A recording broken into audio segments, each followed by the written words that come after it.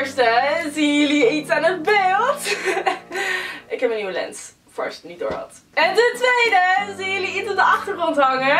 Ik heb een playbutton binnen. En hij hangt daar, maar ik zal hem even pakken, want je kan hem niet zien zo. Kijk even, hoe pretty. Oh my god, I love it! Het is nu al drie maanden geleden dat we de 100.000 abonnees hebben gehaald. We zitten nu al over de 130.000 abonnees, wat ongelooflijk snel gaat en natuurlijk ongelooflijk veel mensen zijn. Daar ben ik jullie natuurlijk super dankbaar voor. En daardoor kunnen we deze mooie plak voor de komende, weet ik niet hoe lang, op de achtergrond hangen. Dus dankjewel. Ik ga hem nu terughangen.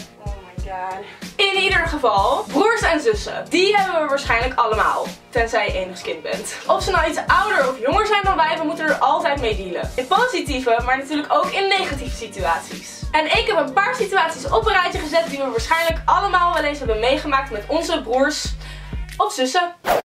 Ruzie maken. Ik denk dat iedereen wel eens ruzie heeft of heeft gehad met zijn of haar broer en zus. Over wat dan ook.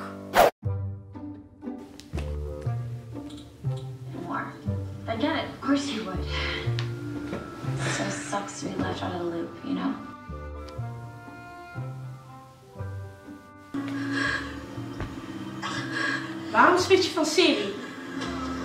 Omdat The Vampire Diaries een stomme serie is. En dat vind ik van The 100. En ik was The Vampire Diaries aan het kijken. had a ghost try to burn me alive. Drink. Ja, nou ik ben nu The 100 aan het kijken, dus je wacht maar even. The car's packed. We gotta get out of here. Ik ga wel weer. You can't walk, and I can't get you back to the dropship. He's right. This fight is over for you.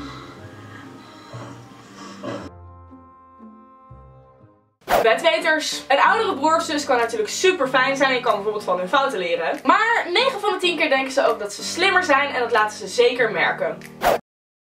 Dus ja, niemand is daar gewoon beter in dan mij. Dan ik. Wat? Beter dan ik. Het is beter dan ik. Beter dan mij klinkt beter. Maar het is fout. I don't care. You should care. Ik zit hier toch niet bij Nederlands, of wel? De oudere moeder of vader. Ken je ook die ene oudere zus of broer die op het moment dat je ouders niet thuis zijn doet alsof het je vader of je moeder is? Marij, denk je eraan dat je je kamer opruimt? Hallo, je bent mijn moeder niet.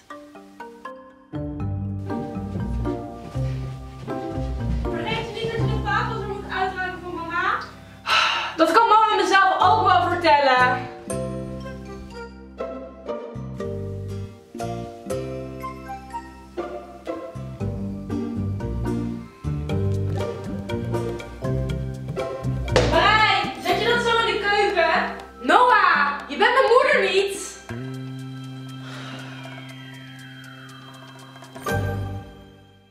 En dan heb je natuurlijk de tweelingbroer of. Daar kan ik natuurlijk genoeg situaties van opnoemen, maar eentje daarvan is het risico lopen dat je er exact hetzelfde uitziet.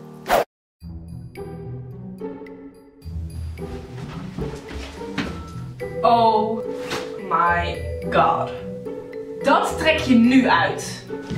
No way, jij mag je gaan omkleden. Hé, hey, wie ging er nou eerder de deur uit? Jij of ik? Ja, precies. Ik dus. Ja, maar je weet dat ik dit jasje gisteren heb gekocht en dat ik hem vandaag aan wilde trekken, maar je hebt hem zelf ook gewoon gekocht. Hij staat mij gewoon heel erg goed. Kan ik niet van jou zeggen.